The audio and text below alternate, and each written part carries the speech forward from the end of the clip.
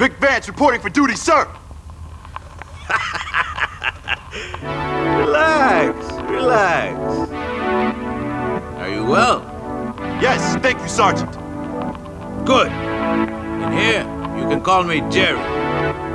Okay. Okay, Jerry, huh?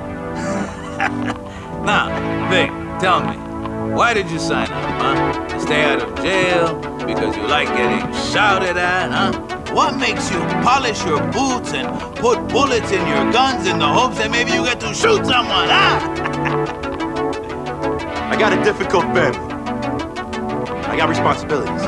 What, kids uh, abroad giving you shit, huh? No, brothers.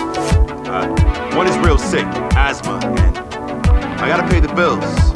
The other, well, maybe sick too, but in a different way. Mom's a mess. So you joined the army to get rich? Not exactly, but you know, my dad, he came here from DR. We didn't have